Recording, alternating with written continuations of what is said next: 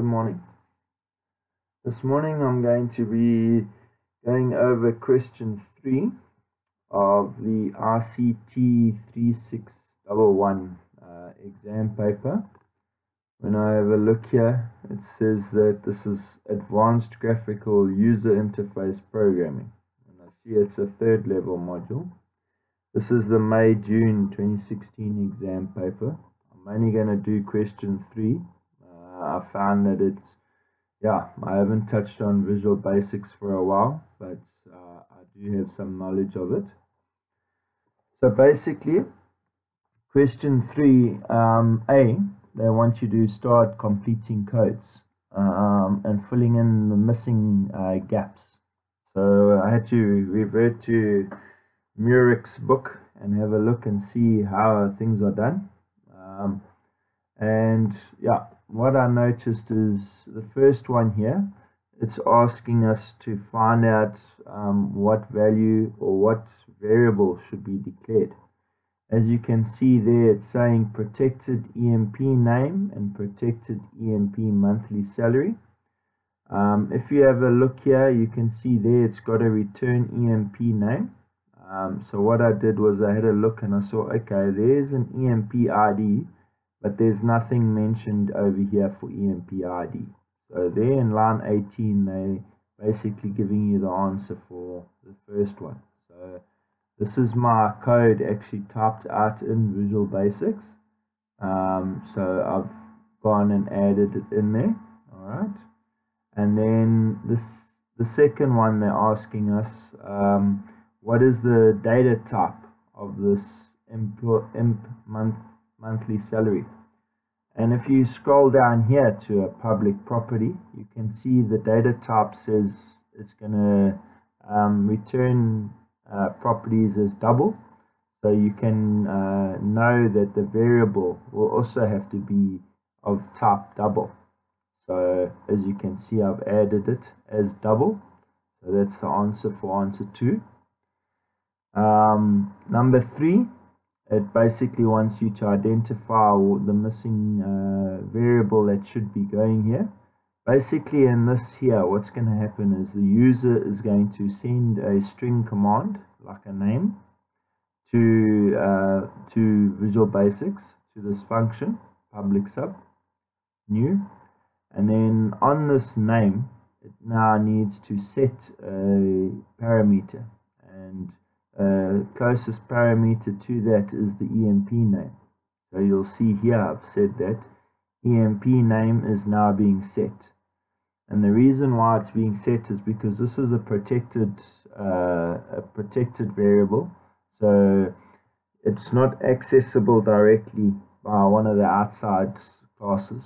If you go and read up about um, public, private, uh, protected um, you'll you'll find out that each one represents um, a different meaning, and the protected one allows any of this class and any subclasses within uh, that inherit from this base class um, access to these protected uh, member variables, but they will not allow direct access through a main code. So your main execution code won't allow won't give them access. So that's why um, that EMP name would be set over here. Then this, the fourth one, they're busy asking us now, what are we setting here? Are we setting a function? Are we setting a property? Um, and also, uh, if you read your notes, you'll see that if something is uh, only got a return variable or a get, then the property is a read-only property. And that you can see from this line 16 where it shows read-only. Um, you can have two options. You can have read-only, write-only, or allow read and write. And this is a, an example of a read and write where it doesn't declare read-only or write-only. Okay. So obviously on this one, we're saying that it's only got one uh, property, which is a get property. So we want to be able to say that it's a read-only property. And now don't go and follow this example here because this is actually wrong. I try to do it exactly as what they've got it here. And uh, VB refused to acknowledge the read-only property appearing after here. It picks it up as a name. So you have to put it in that order where it must be public read-only property. So my answer for option 4 is read-only property. Okay. Then for number 5, if you have a look here, this one confused me a little bit because if you have a look even on VB, it doesn't accept this V as double option here really to set anything. They should have carried on specifying something here, value as double. So what I've done is um, I've just assumed that this V is being passed into the function. Okay, and yeah, uh, the get for the get part that's easy we know that it's monthly salary so we're just returning this basically this variable so I've got it here return employee monthly salary uh, but the set part I've gone and I've put the em employee monthly salary equals V because um, I'm assuming that that's what's happening here is that they're passing um, this V to the property and then the V needs to be set and it needs to set a variable which is obviously the EMP monthly salary. So those are my options for option 6. Uh, okay, so that is 3A covered. Now, 3B was the exciting bit. This is the part that I've done. 3B says, write the code for a class called developer which inherits from employee class in the previous question. Override the employee calc function based on the following rules. Okay, there's nice 12 marks there. Um, so what I did was, if you have a look, you have to change this function to the override function, overridable first. But I don't think that for this exercise they really require that to be done all they wanted you to do was write the class uh, developer, which I've done over here. I've declared it as a public class developer because I wanted to be able to be accessed from anywhere in my program. And I've added the inherits employee, which means that it will um, take from the base class employee. Employee is the base class, and now developer is uh, like a subclass of employee. Okay. And then what I've done is I've said here the public overrides function, uh, calc annual tax as double. So I've just basically copied the, the, the function that they've got over here and all I've done is I've put the overrides option in the middle or just after the public. That is how VB wants you to do it. Okay.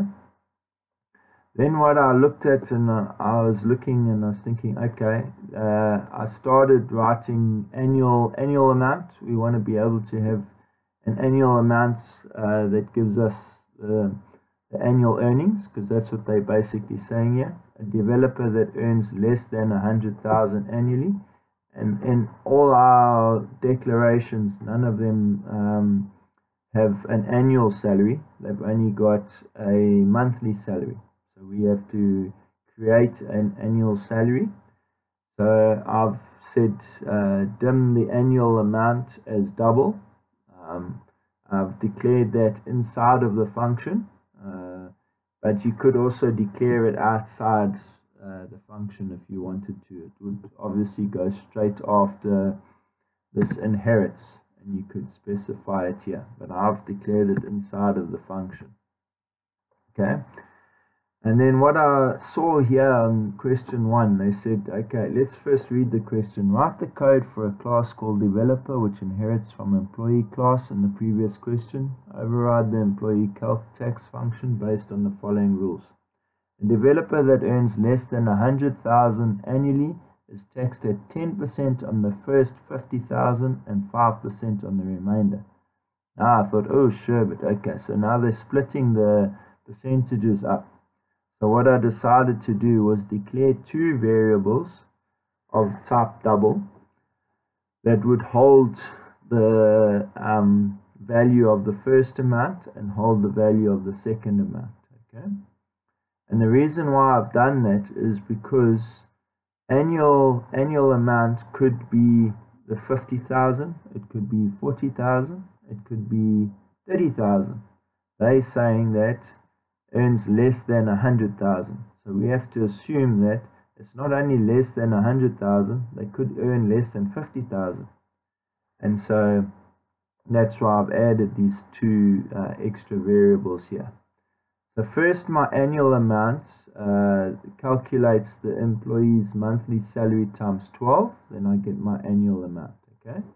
Then I specify if the annual amount is less than a hundred thousand, then it must check.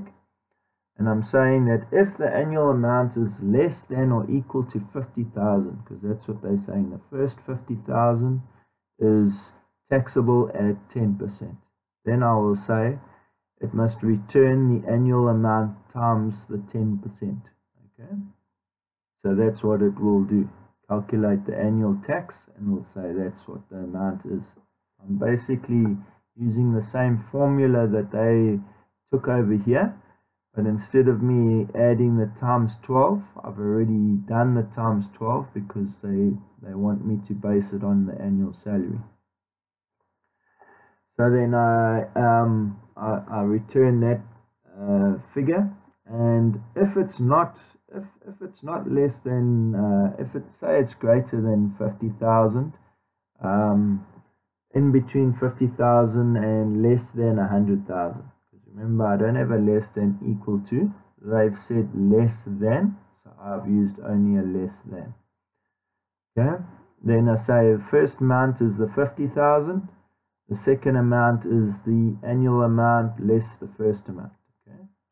And then what I've done is I've told it it must return the first amount times the 10% uh, plus the second amount times the 5%. And I've put them in brackets because you know that normally the multiplication works before the addition. But just to make sure, I will protect myself that that's that's how I wanted to work. I've just added the brackets. So there's no need for the brackets, but I've just preferred, it makes the code look better, easier to understand, and it will definitely give the result that they want. Then the second one says, a developer with an annual salary that does not match rule 1, but earns less than 200,000 is taxed at 12% on the first 100,000 and 10% on the remainder.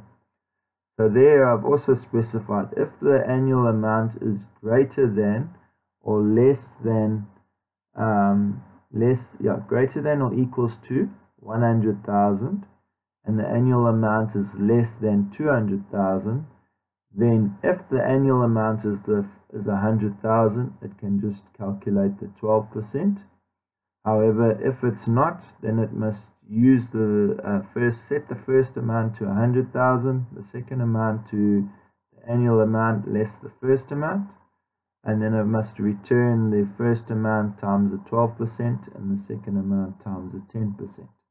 Alright. Then because there's no other rules after that, I've just left it in the, an else statement and because uh, their third one says a developer with an annual salary that does not match rule 2 is taxed at 15% on the first 200,000 and 12% on remainder. So I've said that if the annual amount is 200,000 then return the annual amount times the 15%. But if not, then the first amount is the 200,000, the second amount is the annual amount less the first amount and then return the first amount times 15% plus the second amount times 12%.